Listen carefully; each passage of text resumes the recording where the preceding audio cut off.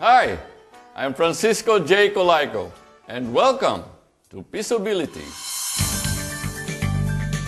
Peaceabilities is about your ability to manage your one peso and the ability of your peso to work for you. This is the first of a three DVD series presented by the Colaiko Foundation in promoting financial literacy for everyone. More power and prosperous wishes to all. In our market driven economy, it's our obligation to build wealth over our lifetime, generate enough resources so that we can be financially independent and share our bounty with our community. Obligasyon ho natin to, hindi option. No one can share what he doesn't have. We cannot share what we don't have. Our first obligation is to make ourselves financially secure. How do we do that? Financial security depends very heavily on your chosen lifestyle. Yung ba lifestyle mo, yung kailangan meron kang tatlong bahay, dalawang kotse, limampung kotse, o sapat na ba sa iyo yung simpleng pamumuhay, ngunit masaya? A lifestyle to enjoy with your family, with your community. That is what lifestyle is all about. That is what financial intelligence is all about. We cannot share what we don't have. Paulit-ulit natin sinasabi yan. Dahil ang importante sa atin, matuto tayong magpalago. Obligasyon ho natin yan.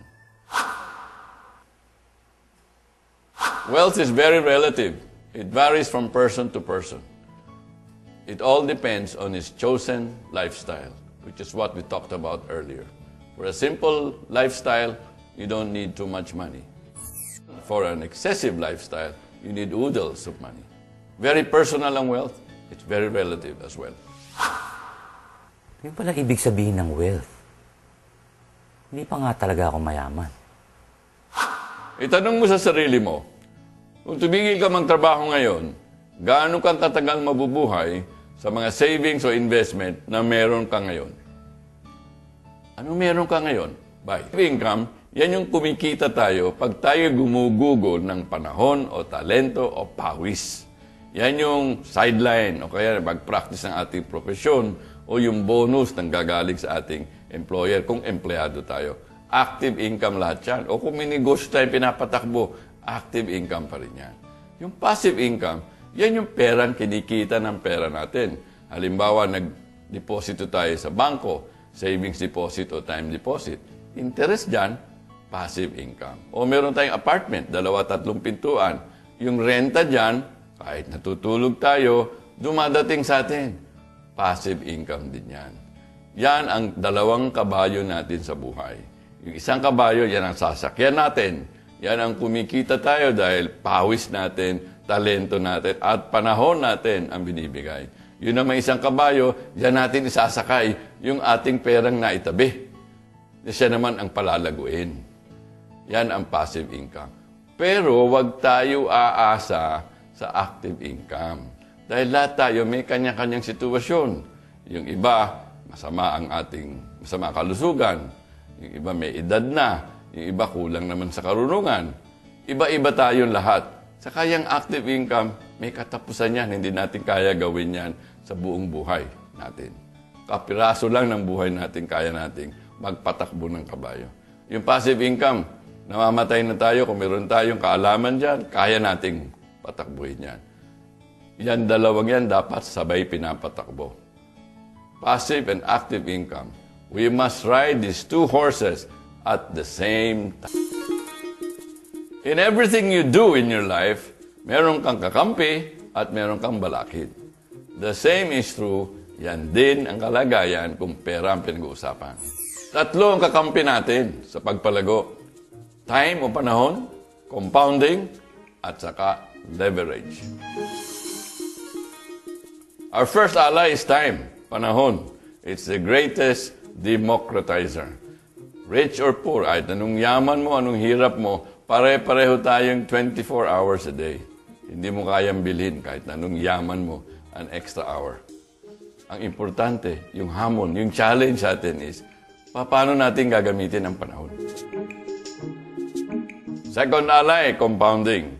Pag sinabay mo sa time yan, yan ang magpapalago. Ang ibig sabihin ng compounding, leave your money alone. Bayaan mo siyang lumago. Let it roll. Lahat tayo, kaya natin siguro mag-save ng 30 pesos per day.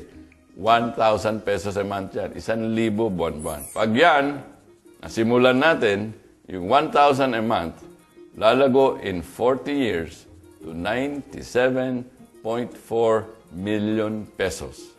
Yan at 20% per year. Magkano lumabas sa bulsa natin in 40 years? 480,000. Magkano ang potential yaman natin? 97.4 million. Masama pa ba yan? Yan ang power ng compounding. Our third and last ally is leverage. Ito yung tinatawag nating panikwas sa Tagalog. Ang ibig sabihin niyan, tamang pag-utang, good debt. Pag ang utang ginamit sa tamang paraan, meaning kaya nating bayaran yung interest at ilalagay natin, ilalagak natin sa tamang paraan, nakikita na higit sa interest, yan ay good debt. Ang ginagawa sa atin yan, nagpapalaki, nagpapalaki, nagpapalawak sa ating kapital. Leverage is also, ang ibig sabihin din yan, yung babakas tayo. Nakikibakas tayo sa bawat isa. Kagaya ng pooling ng ating resources. Parang kooperatiba. Natututo tayo sa, sa mga iba-ibang bagay at mas importante, napapalaki natin yung kakayahan nating kumita. Yan ang leverage. The power of leverage. Ang kagandahan nito, all these three allies, time or panahon, compounding, at leverage are available to all of us. Just as there are allies, there are obstacles or enemies in wealth generation. Lima ang kalaban natin sa pagpalago ng pera. Inflation, procrastination, bad spending habits, culture and tradition, taxes. Ang unang balakid, inflation. Inflation or inflasyon, yan ang pagtaas ng presyo ng mga bilihin ng mga pang-araw-araw natin pangailangan, gaya ng bigas, asukal, gasolina, at iba pa. Ang inflation, yan ang pagtaas ng presyo. Kung kaya noong 2006, according to NEDA, inflation was 6%. Yung nabibili mong 100 pesos nung beginning January 1, 2006, eh noong 2007, January 1, ay 106 pesos na ang presyo. Hindi mo na mabibili ng 100. Yun ang inflation. Ngayon, kung ikaw naman ay nag-impok sa savings deposit ng 100 pesos noong January 1, 2006, at ang interest niya ay 2%, at the end of the year, January 1, 2007, yung pera mo lumago sa 102. Ang inflation, 106. Hindi mo pa rin kayang bilhin yung 100 pesos na nabili mo noong January 1 in 2006. Bibilin mo pa ba? Bibilin mo pa yan. Dahil yan ang mga kailangan mo pang araw-araw. Kaya, ang inflation dapat talunin. Dapat ang investment mo kikita ng mas mataas sa antas ng inflation. Ngi. Mukhang isang porsyento lang kikitain ng pera ko. Di halos wala rin kinikita yung impo ko. Ang pangalawang kalaban natin sa pagpalago ay yung procrastination. Ito yung pagpapabukas, yung manyana, manyana. Yung ating pinag-usapan na 1,000 a month, kung magsisave ka for 20 years, at, sabi, at sabihin mong tuloy-tuloy ang savings mo for 20 years, at 20%, lalago yan sa 2.4 million pesos. Pero kung ipagpaliban mo na isang taon yan, na invest na 20 years and 19 years lang ang magamit mo, malulugi ka ng 460,000. Yan ang mawawala sa iyo sa pagpapabukas mo. Natin ipagpabukas pa ang pagpapalago. Gawin na natin. Ngayon. Ang isa pang hadlang sa ating pagpapalago ng pera ay yung ating bad spending habits. Ito yung ating masamang ugali na napapabili tayo o bili tayo ng bili ng mga bagay na hindi natin kailangan. Kadalasan nga, napapabili tayo biglaan. Na-attract tayo dun sa, uy, buy one, take one, 70% off. Napapabigla tayong gumastos kahit hindi natin kailangan. Ang solusyon, sundin natin ang patakaran na buy only when we need. Planuhin natin ang ating pamimili. But buy the best that we can afford. Meron tayong mga kostumbre at mga tradisyon na hindi natin maiwasan. Yan ang isa pang balakid o kalaban sa ating pagpapalago ng pera. Mahirap, pero kaya. Gaya ng mga overseas Filipinos. Pag uwi, anong kailangan gawin? Kailangan may pasalubong. Kailangan may balato. Halos lahat ng miyembro ng barangay nag-aantay ng balato. Yun naman mga naiwan, kailangan, may, pag may binyag, kailangan may party. May first year party, birthday. May seventh year birthday party. May 18th year birthday party. Napakadaming party. At saka alam nyo ba, there are 770 fiestas sa Pilipinas. As I speak now, dalawa sigurong fiesta nangyayari sa araw na to. Ano nangyayari? Umuutang tayo para makapaghanda at mabuksan ang ating mga tahanan para sa lahat ng bisita ng ating barangay. Yan ang mga tradisyon na sana maganda kung kaya ng bulsa. Ang solusyon, pag-usapan ng pamilya ang lahat ng bagay tungkol sa pera. Ano ba ang tunay na kalagayang pinansyal nila? Ano ang kaya nila? Anong hindi nila kaya? Because money is a family matter. Ang huli at panglimang hadlang natin sa pagpapalago ng pera ay buwis or taxes. Every legitimate transaction, money transaction, ay may kahati ang ating pamahalaan o gobyerno. Ito ay isang realidad na dapat nating tugunin. Yung ating pinag-usapan, na halimbawa, nag-save ka ng 100 pesos sa savings deposit. After one year, lumago by 2 pesos, 102 pesos na. Yang 2 pesos na kinita mo, merong kukuhanin ng gobyerno na buwis na 20%. Halimbawa, yung ating pinag-usapan, nag-save ka ng 100 pesos for one year, nilagay mo sa savings deposit. Ang kita, 2% interest. Kumita ka ng 2 pesos after one year.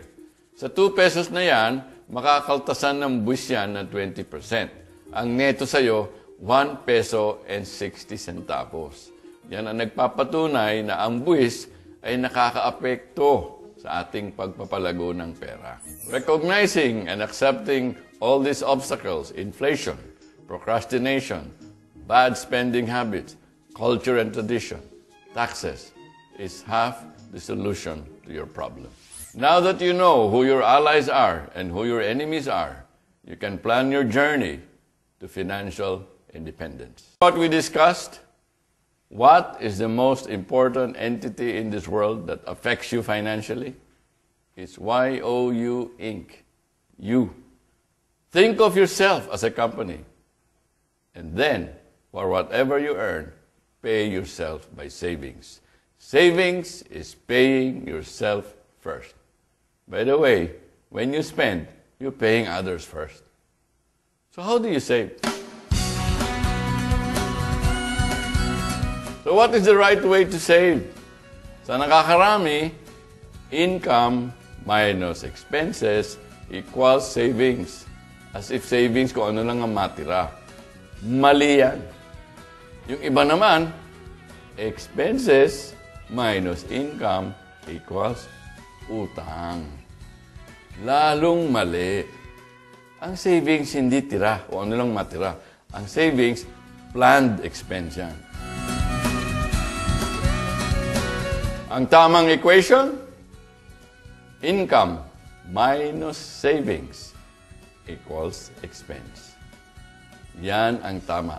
Pay yourself first. Planado ang savings. Because savings is also an expense. It's an expense that buys your future. Kailangan alamin mo kung bakit ka nagsisave at nag invest Ano ba yung tunguin mong pinansyal sa buhay mo? Tatlong basket ang dapat nating punuin. Unang basket, basket of protection. Basket ng lifestyle. Basket ng retirement. Basket of protection. We need to protect our greatest income-generating asset. Lalo na kung meron tayong pamilyang umaasa sa ating kinikita. Protektahan natin ang ating kinikita na kung sakali mawala tayo sa mundong ito, ay merong papalit sa ating kinikita para naman sustinahan yung ating pamilya. Kailangan natin protektahan ang ating mga pamilya sa ating buhay at ating kalusugan. Isiguro natin ang ating buhay at ang ating kalusugan. Ang pangalawang basket ay ang basket ng lifestyle. Dito, para masiguro natin ang antas ng ating pamumuhay, ay dapat meron tayong sufficient reserves for emergencies in our lives. Yung ating pamamahay at yung ating edukasyon ng ating mga anak. Pangatlo, ito ang matagalang pangangailangan natin. Ang basket ng retirement. Ito yung dadatnan nating lahat na pag hindi na tayo nakakapagtrabaho. You may forget everything that I've said so far, but not this one. Ito yung ating life rule na dapat nating sundin. The 80-20 rule. Ang ibig sabihin nito, live within 80% of what you earn. And the 20% is what you pay yourself. Yan ang bayaran mo sa sarili mo. Yan ang gagastusin mo pambili ng iyong kinabukasan. Para malaman mo ang kalagayan mo, ilista mo lahat ng gastusin mo ngayon. Lahat ilista mo. At alamin mo, bawat isa, yan ba yung need o yan ba yung luho? Eh, yung need, yung pag hindi mo makuha, maapekto ang buhay mo. Eh, yung want, pag hindi mo makuha, walang epekto sa buhay mo. Isa-isahin mo yan at siguraduhin mo na 80% ng kinikita mo ay sapat na pangtustos ng needs na yan.